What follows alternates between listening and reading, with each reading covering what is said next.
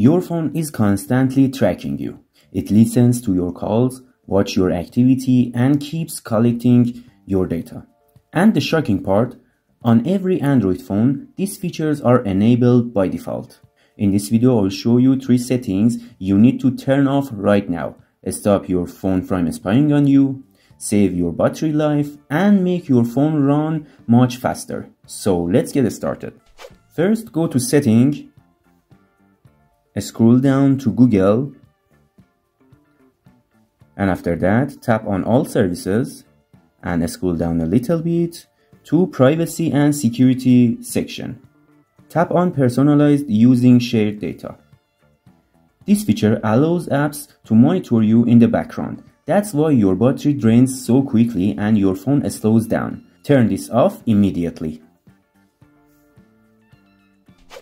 Next one, go back and open usage and diagnostics. This setting sends tons of data about you, what you use, how often you use them, and even your daily activities to Google services. Developers can analyze it, but for you, it only means a slower performance and faster battery drain. So again, turn this off. And finally, go back to Google, and again, tap on all services and tap on ads. Here is the sneaky one. This feature collects what you search online, what you say in conversation, and even uses your microphone. That's why you see super specific ads after just talking about something. Creepy, right?